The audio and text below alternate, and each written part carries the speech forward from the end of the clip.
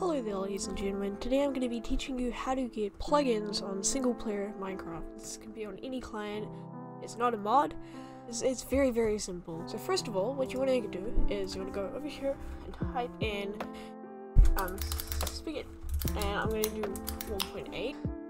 Now you just go down to the version that you want. So for me, I'm gonna actually I'm just gonna do 1.8.8 because I think I think 1.8.9 doesn't exist. So yeah, we're just gonna click on that. Just gonna install the file. While that's happening, on your desktop or anywhere on your computer, you want to make a new folder and just name it. I'm just gonna name it server. Oh, server. There we go. And now you can go in here. Wait for this to finish installing. Here we are. Should be about to be finished. If it's not finishing, then it should be, yes, it is already done. It's just because it's trying to virus check it. So anyways, I'm gonna go in here, check it over.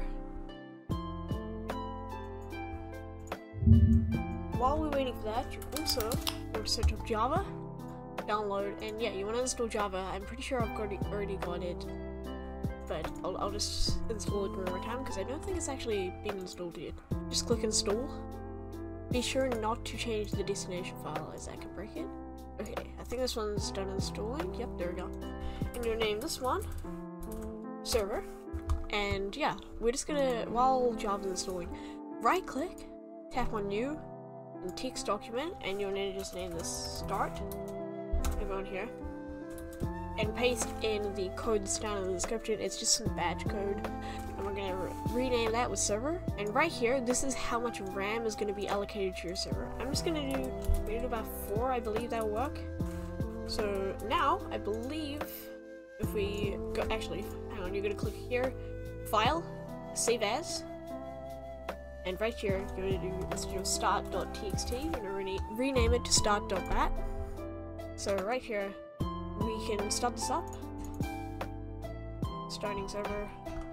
As you can see, it's all working. It will add a couple of files. You want to open this one up, eula.txt, and rename where it says false. You want to change that to true. Now close out of this, and uh, now hit back into it.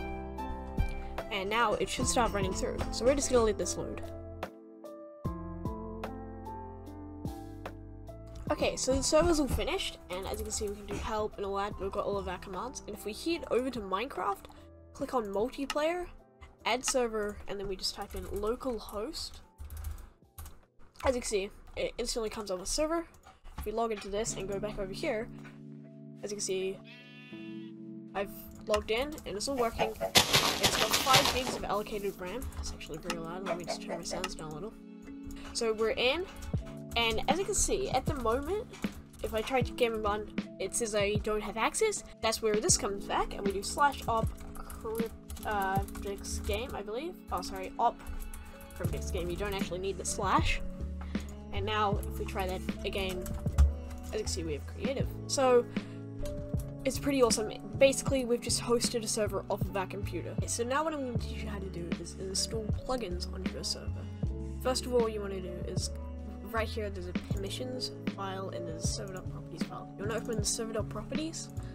Um, just open it with text editor. I'm just going to do notepad for the time being. In here, what you want to do, basically this is all the permissions. So you can turn PvP on and off, change the difficulty, the, the default game mode. The one that we actually want to look for is enable command blocks. I believe it's a kind of near the top. Might be wrong. Now we'll actually just do if command. Here it is. Okay, enable command block. So right here. Um, replace that with true. And yeah, so you once you're in here, you want to find a plugin, um, 1.8.8. Okay, so we'll do this one here, up to Minecraft 1.8.8. Click save. I've actually downloaded multiple ones as you can see, but they don't seem to have actually worked. So this one, this one should. Oh, the reason being for that actually is because those forge files. That's actually my problem. Bad. Um. Okay, so we'll drag and drop this one in, roll it a bucket. We will, well, the server sh should be stopped. The way that you do that is you just type in stop. Start server again. Okay, so now it should be finished. If we hop back over to the server, layout that we're in.